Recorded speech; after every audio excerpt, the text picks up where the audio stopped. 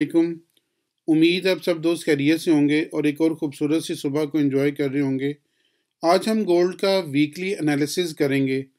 अपने exit point देखेंगे entry point देखेंगे कि हम लोगों ने मार्केट में कहाँ पे एंटर होना है और कहाँ पे एग्ज़िट करना है।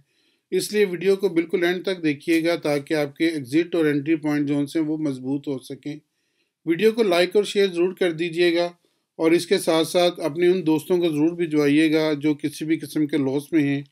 आपको इलम है कि हम लोग किसी भी किस्म का चार्ज नहीं लेते सिर्फ़ ये फ्री ऑफ़ कॉस्ट होती है आपको समझाने के लिए ताकि आप वीडियो को देख के समझ सकें और ख़ुद से एनालिसिस करने के काबिल हो सकें।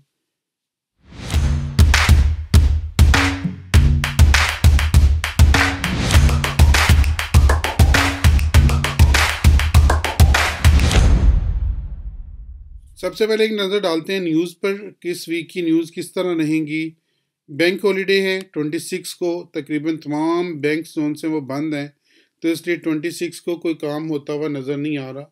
अगर मार्केट खुलती भी है लेट नाइट में तो मार्केट जोन से वो बिल्कुल ठंडी होगी। ट्यूसडे को भी कोई ख़ास न्यूज़ नहीं है बैंक हॉलीडे है और सिर्फ़ एक जे पी वाई का अनएम्प्लॉयमेंट क्लेम है। अगर ये 2.6 से नीचे आ जाता है 2.6 परसेंट से तो आपका जे पी वाई जो सा वो शूट कर सकता है। उसके अलावा जो बी ओ जे है बैंक ऑफ़ जापान है, उसकी कोर सी पी आई है ईयर एंड ईयर बेसिस पर।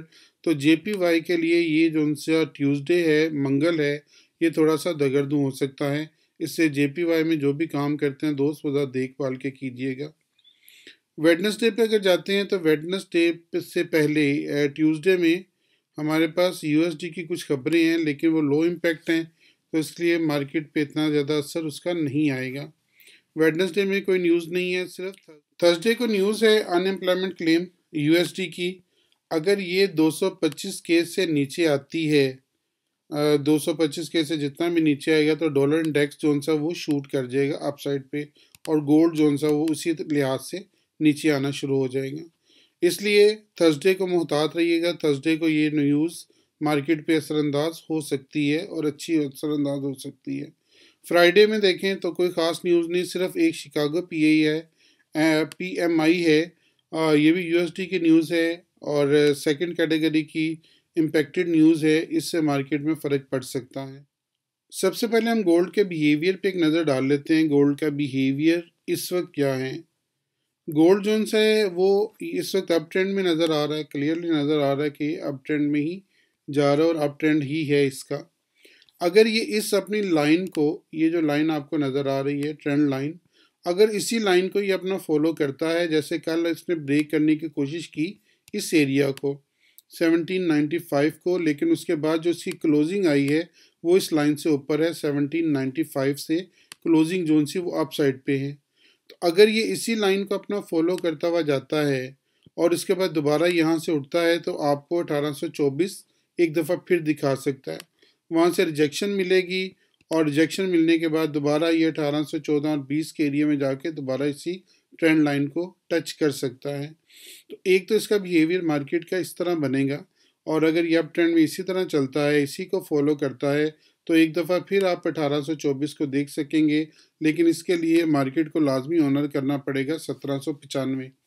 अगर सत्रह सौ पचानवे को ऑनर करता हुआ जाता है तो मार्केट के लिए सत्रह सौ पचानवे से सत्रह सौ नब्बे का एरिया या सत्रह सौ बानवे का एरिया आप देख लें और यहाँ से उठता है, बुल्स जोन से वो वापस आते हैं मार्केट में तो एक दफ़ा फिर इसको आप साइड पे लेके जा सकते हैं और आप साइड पे दोबारा ये अठारह सौ चौबीस से रजिस्ट होके, ये वही एरिया जिसका मैं बार बार आपसे ज़िक्र करता आ रहा हूँ कि अठारह सौ चौबीस से मार्केट जोन से वो रजिस्ट हो सकती है। अगर अठारह सौ चौबीस से रजिस्ट होके ये वापस आता है तो बिल्कुल एक वाइल्ड मार्केट जोन से उसकी तरह बिहेव करेगा। जिस तरह कॉयल होती है, उसी तरह ये बिहेव करता हुआ चलेगा और यहाँ से दोबारा ये आएगा तकरीबन 1800 से के करीब के एरिया में, फिर यहाँ से उठ के और दोबारा 1814 और फिर दोबारा वापस आ जाएगा। अब ये जो सा एरिया ये इसका क्रिटिकल हो जाएगा कि इस एरिया को ब्रेक अप साइड पे करता है या डाउन साइड पे। और वहाँ पे फिर हमें वेट करना पड़ेगा जब मार्केट के हम ये तीन मूव्स ले लेंगे तो फिर हम वेट करेंगे कि अब ये किस साइड पे जाने वाला है। फिर उसी हिसाब से हम अपना डिसीज़न लेंगे कि आइधर हमने मार्केट में प्लस साइड पे जाना है या माइनस साइड पे। तो इसलिए कि मैंने क्लियर विजन आपको दे दिया है। अगर मार्केट इसी तरह बिहेव करती है इसी तरह चलती है तो हम लोग अपनी पोजीशन इस तरह लेंगे। अब चलते हैं मार्केट के दूसरे सिनारियों की तरफ़। नज़र आ रहा है। अब हम ये देखते हैं कि गोल्ड कौन कौन से पॉइंट से रिट्रेस हुआ है या कौन कौन से पॉइंट जो हैं।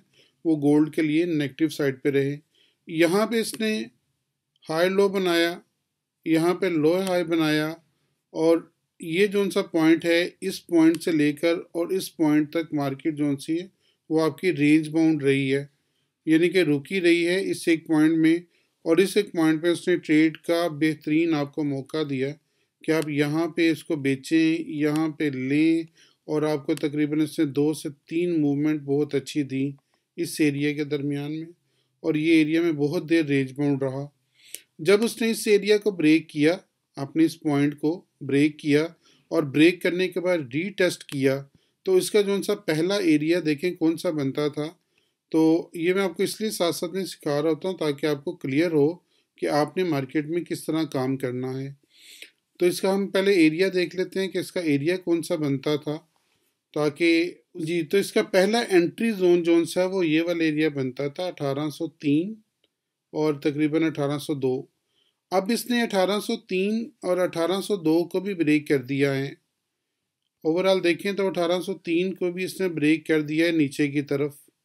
अगर नीचे की तरफ़ ब्रेक किया, ये ब्रेक किया ब्रेक करने के बाद ये रीटेस्ट किया और रीटेस्ट करने के बाद यहाँ पे कल इसने एक दफ़ा फिर इसको रीटेस्ट करके और मार्केट जोन से वो वापस आ गई है। अब ये जोन सा आपका एरिया बना हुआ है 1803 का 1803, 1802 और 1805 ये वाला जो एरिया बना हुआ है 1802 से 1805 मेरे ख्याल में यहाँ से अब आपकी सेल पोजीशन ही बनती है। अब ये एरिया थोड़ा सा और मैंने आपके लिए सिक्वीज कर दिया है क्योंकि ये जो सी ऊपर उसने वीक छोड़ी है यहाँ पे अप साइड पे ये नज़र आ रही है कि मार्केट यहाँ से रिजेक्ट हो रही है बार बार अगर मार्केट इस पॉइंट से रिजेक्ट हो रही है, इस वाले पॉइंट से तो आपको यहाँ पे अभी तक अपनी सेल पोजीशन में ही रहना है। थोड़ा सा वाइड कर देता हूँ ताकि आपके लिए और क्लियर हो जाए बात मेरी, आपको समझाना भी इजी हो जाए। तो ये जो पॉइंट ऑफ़ एरिया आपका रिजेक्शन का मिला है, यहाँ से मार्केट हीट हुई हीट होने के बाद नीचे आई। अगर अगर मार्केट यहाँ से अप जाती है, यहाँ पे जाके टकराती है और टकराने के बाद कोई एक कैंडल वापसी की बनती है तो फिर आप मार्केट के साथ नीचे वाली साइड पे बैठ जाइएगा। नीचे वाली साइड पे सेल साइड को आप लीजिएगा और सेल साइड पे हो सकता है कि मार्केट आपको अच्छा गेन दे जाए।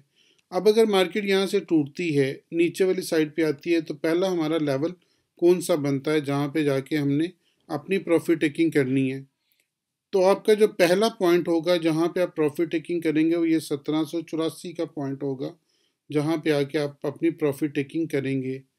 तो इसलिए आप इस पॉइंट को जहन में रखिएगा कि पहली आपकी पॉइंट सत्रह सौ चौरासी और पचासी का होगा, जो आपको प्रॉफिट टेकिंग देगा यहीं पे। और सेकंड जो सा पॉइंट अगर इसको और मज़ीद थोड़ा सा नीचे ले जाएँ तो आप इसको सेकंड पॉइंट सेकंड टारगेट आपका सत्रह सौ तिहत्तर का होगा। तो पहला पॉइंट अगर आप यहाँ से मार्केट नीचे जाती है और नीचे आने के बाद आपको ये अच्छा गेंद देती है तो आप सत्रह सौ पचासी तक पहला पॉइंट लेंगे, यहाँ से यहाँ से टूटती है तो सत्रह सौ पचासी आप पहला देखेंगे और दूसरा जो सा पॉइंट है वो जो सा आपका सत्रह सौ तिहत्तर का होगा। तो ये दो पॉइंट आपके टारगेट्स होंगे, अगर ये नीचे साइड पे जाती है। और इसके लिए स्टॉप लॉस आपका बहुत करीबी होगा 1806 का तो 1806 का स्टॉप लॉस रखिएगा और इसमें आप सेल साइड पे रहिएगा। चूँकि गोल्ड में हमने अपनी इमोशंस नहीं इस्तेमाल करने बल्कि हमने कोशिश करना है कि अपने जिस तरह गोल्ड चल रहा है, हम बिल्कुल उसी साइड पे चलें और उसी साइड पे इसको लेके चलें। अगर गोल्ड आपका यहाँ से अप साइड पे निकल जाता है और दोबारा आके रीटेस्ट करता है तो रीटेस्ट करने के बाद पहला जो लेवल होगा वो 1812 का होगा। तो यहाँ से आप जो अप साइड की ट्रेड लेंगे वो 1812 की और दूसरा जो सा टारगेट इसका वही 1820 और फिर 1824 का ये दो टारगेट मार्केट के लिए अप हो सकते हैं। ये दोनों मैंने आपको क्रियल पोजीशन बता दी। आपको अठारह सौ दो और तीन का वेट करना है और दो और तीन के वेट के बाद आप देखें कि मार्केट किस साइड पे जा रही है। उस साइड पे आप अपनी पोजीशंस लें और अल्लाह ताला आपको बेहतरीन ट्रेड का मौका दे। मुझे अपनी दुआ में ज़रूर याद रखिएगा। मैं आपके लिए बहुत दुआ गो हूँ कि अल्लाह ताला आपको बेहतरीन ट्रेड का मौका दे। आमीन।